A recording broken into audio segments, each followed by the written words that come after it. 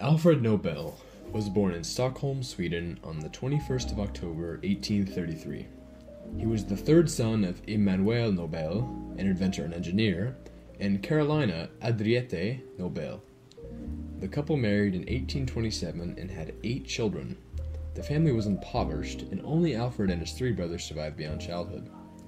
Through his father, Alfred Nobel was a descendant of the Swedish scientist Olaus Rudbeck, and in turn, the boy was interested in engineering, particularly explosives, learning the basic principles from his father at a young age. Alfred Nobel's interest in technology was inherited from his father, an alumnus of the Royal Institute of Technologies in Stockholm, Sweden. As a young man, Nobel studied with chemist Nikolai Zinin. Then, in 1850, he went to Paris to further the work. There, he met Ascanio Sobrero, who had invented nitroglycerin three years before. Sobrero strongly opposed nitroglycerin because it was unpredictable, exploding when subject to variable heat or pressure. But Nobel became very interested in controlling and using nitroglycerin as a commercially usable explosive.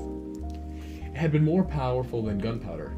In 1851, at age 18, he went to the United States for one year to study, working for a short period under Swedish American inventor John Ericsson who designed the American Civil War ironclad USS Monitor. Nobel filed his first patent, an English patent, for a gas meter in 1857, while his first Swedish patent, he which he received in 1863, was on ways to prepare gunpowder. Nobel found that when nitroglycerin was incorporated in an absorbent inert substance like kieselguhr, it became safer and more convenient to handle. And this mixture he patented in 1867 as dynamite.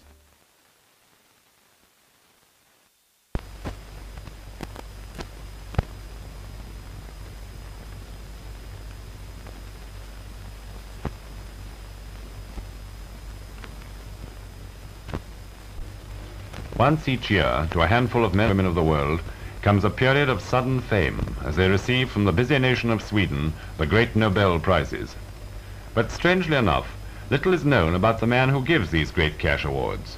For Alfred Nobel, celebrated for the Peace Prize, by some is called one of the creators of modern warfare. Thus, to one of the most dramatic and mysterious puzzles that has ever lain hidden behind the scenes of the universe, the life of Alfred Nobel. But listen to his own story. One morning, in the year 1866, I found myself on the eve of a tremendous discovery. I had given my youth in the effort to find something that would tame nitroglycerin, one of the most perilous substances known to man. It had killed my brother Emil, but stubbornly I worked on, knowing that if I could find the way to harness nitroglycerin, I would give mankind one of its greatest treasures. One tiny flaskful of this yellow, oily liquid contains enough power to blow this laboratory off the planet. Nitroglycerin. A hundred times I tried to combine it with a hundred different substances, with powder, with sawdust, with silica, and even with cotton, and a hundred times I had failed. But a man is in danger when dangerous work becomes too familiar. My fingers were cold, and suddenly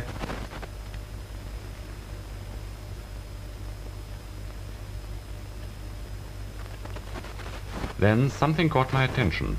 The fluid was slowly soaking into the fine powdered white clay that had been used to pack the flask.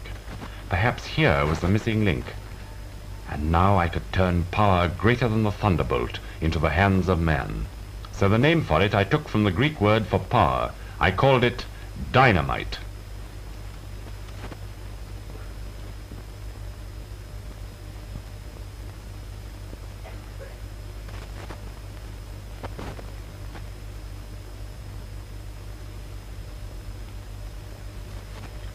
Eureka!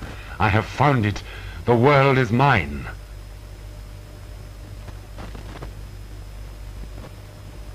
And I was right.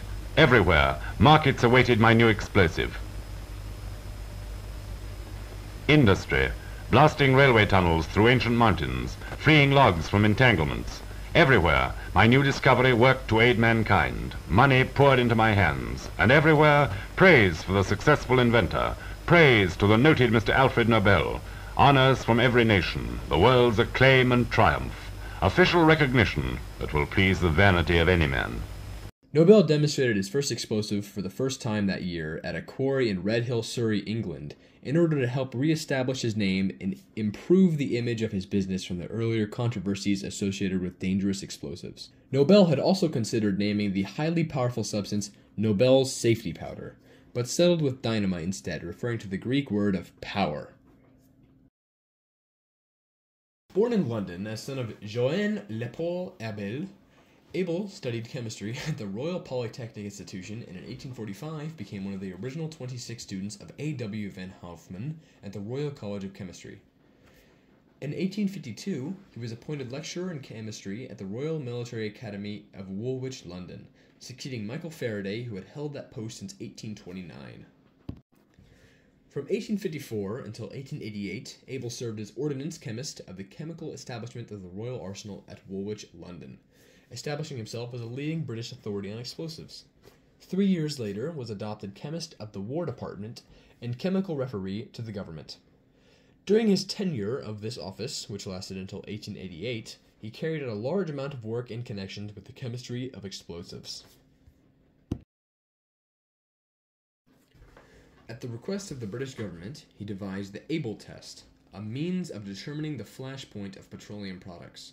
His first instrument, the open test apparatus was specified in an Act of Parliament in 1868 for officially specifying petroleum products. It was superseded in 1879 of August by the much more reliable Abel closed test instrument.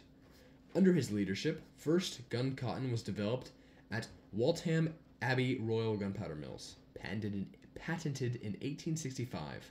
Then, the propellant cordite, patented in 1889. In electricity, construction of electrical fuses, and other applications of electricity to warlike purposes. My partner Alex and I decided to choose these two extremely interesting chemists because their inventions were relatively similar. Their major contributions to society were both that of a dangerous chemical reaction. Frederick Abel and Alfred Nobel were also of the same century, and Frederick Abel was unsuccessfully sued by Alfred Nobel due to the mass amounts of similarities in their work. When I asked Alex over the phone what he thought about both chemists, he stated, quote, I liked the fact that they both developed chemical reactions related to combustion. I also liked the fact that dynamite is in Fortnite, and I love Fortnite. End quote.